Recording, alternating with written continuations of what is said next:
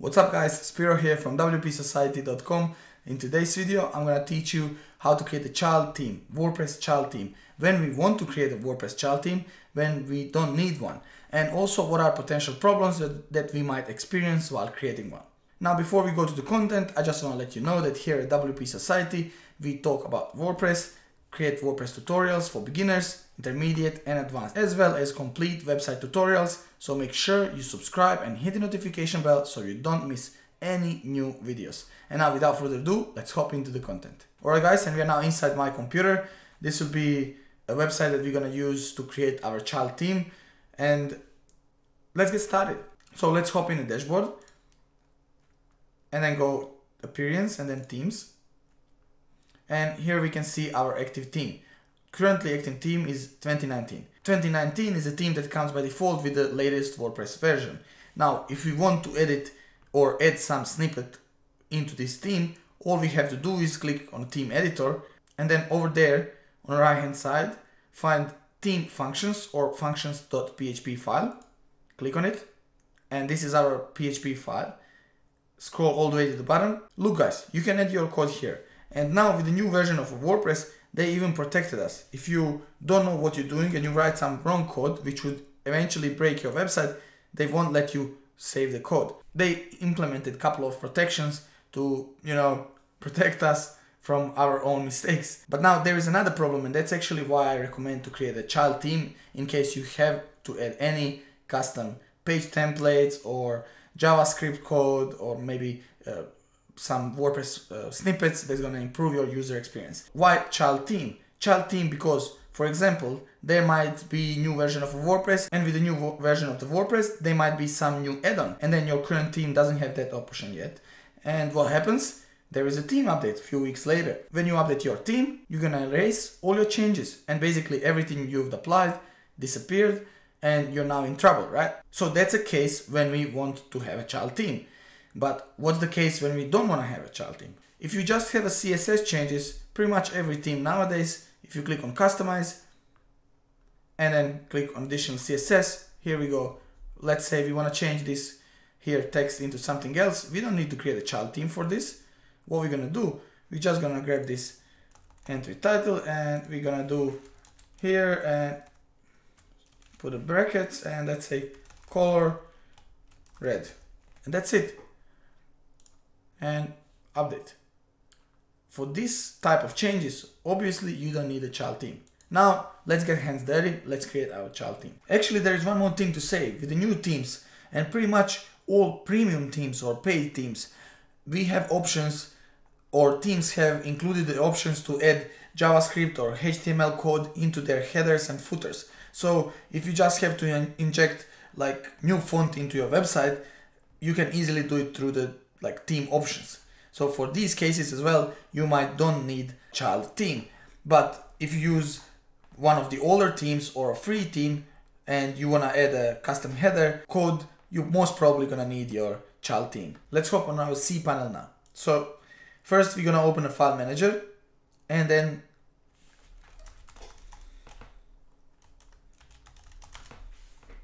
and then navigate into your theme folder. And once you're in a team folder, here we want to create a new folder. And we want to call it 2019 dash child or something like that. So, and now open this child team folder. And inside this team folder, we have to create two files.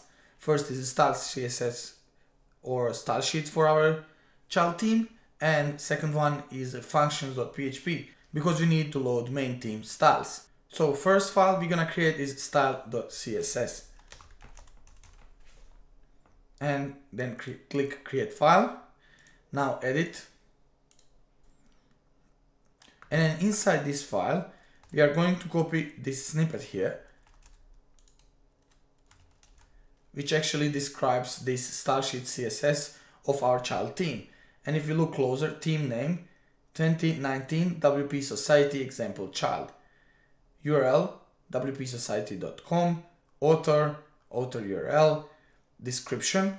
I just put something randomly like simple 2019 child team we are going to create for tutorial purposes. And then template. This is the most important part because this 2019 actually and this here needs to match folder name of the parent team. Then license and license URL. And underneath here comes our custom code for our child team. Now, if we save this file and if we go to Good Mood Promotions again and we check goodmoodpromotions.com and go to teams, we'll find our 2019 child team. If we activate this team, it will work, but it will be completely broken without any CSS loaded, right? So next thing to do is to add functions.php. Again, open up a team folder, create a new file, name it functions.php and then click create new. Edit. And here we want to copy this piece of code. Don't worry guys, I'm gonna leave link in description where you can find these files so you can modify them according to your team and you know get it working with whatever team, whatever child team you're creating. And now just click save and let's open goodmoodpromotions.com. Everything looks pretty much the same, just our menu items, if we had any, and all the changes that we had inside the team settings because they are saved under the other team because this team now or WordPress now sees this child team as its own theme. So if we activate 2019, you'll see that this text is going to get red. Same happens with menus. Let me quickly show you in a menu example. Uh, let's load uh, home primary menu and let's add demo and about pages into it. So we have two about pages and let's say like this and let's save. And this is something you should be aware of. So if you, for example, have your established site, you have your custom menus, you have your custom CSS code loading from the settings, additional settings, or might be some additional fonts or some scripts loading from the footer or anything like that, you have to include these things in a future team. And they're gonna disappear if you just activate your child team. So be aware of these little things. Let's activate the child team and you'll see that menu gonna go to default. Oh, menu stays. This is beautiful. This is, I was pretty sure it won't copy the menus, but obviously WordPress is getting better.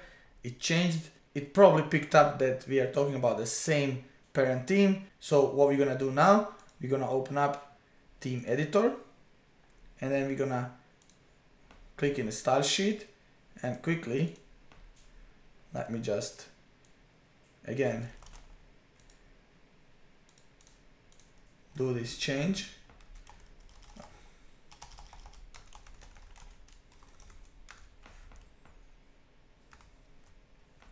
And let's save. And here we go. Now in our child team we have coded the same thing but we didn't use this custom or additional css field same would be if our if that was advanced team that gave us an option to add a code in the header. But things with the header and other stuff work slightly different. Another thing that pretty much every child team should have is JavaScript. We should be able to add our JavaScript simply to our child team. So what I like to do, I like to create another folder and call it JS, like JavaScript. And then inside this folder, just create a new file, call it script.js and up one level. And again, everything we have to do is inside this functions.php file, we have to add one more line here. And it's gonna look like this, in which we're going to 2019 dash child slash js slash script.js. And now if we have any JavaScript that we want to update, all we have to do is we have to click this JS and JS script. And here we can add our JavaScript very simply, easy and it's gonna get applied. Another cool thing that we can do is if you go to teams, you'll see our child team doesn't uh, have this like a background icon. To get one, you need to create custom screenshot.php file and then just drag and drop into the child's team and then close, just uh, reload. It's here. And then just refresh in here. And here we go. Here is our now child team background sort of picture. Uh, now another couple of important things is how hierarchy works. So now when we have a child team uh, in our functions.php file here we can add our additional snippets and functions and change plenty of things that we eventually want to change. In this script.js we can add any javascript that we want that will then load on a whole website but let's say that uh, we want to add just uh, additional piece of code into our header.php file now how this thing works is if we create a new header.php file in here, it will override the header.php file of the team. So if there is any of parent team files called exactly the same as our child team file, our child team file will override the parent team file and there'll be most probably errors. So what's recommended to do is we want to change header on this team. We're going to go to 2019 original or parent team and then we're going to locate the header PHP and copy it to our 2019 child. And now this header.php should appear in our team editor and we can now easily edit it from here and add any additional code if we want. Same rule applies for all files that exist in a parent team. And guys, that's pretty much it. This is how child teams works in WordPress. It actually allows you to add your own style sheet and then functions.php if you add that one additional line of the code into your functions.php file then it allows you to edit your javascript as well i'm gonna leave link to the blog where you can find these codes down below in description of this video also if you think that i can improve my videos please let me know what would you change and now before we knock off i just want to let you know if you are interested in making money online make sure you check my number one recommendation on how to make money online which is what I'm doing right now. Sign up for my email list and I'm gonna send it over to you right away, right now. And that brings us to the end of this video guys. I hope you've learned something. If you did so, smash the like, comment in description below, subscribe and hit the notification bell so you don't miss any new videos. Also, don't forget to check the cards on the right hand side. There'll be one video coming tomorrow, how to optimize Contact Form 7 for a best performance. So if you use that plugin, don't miss that video. It's must have in 2019.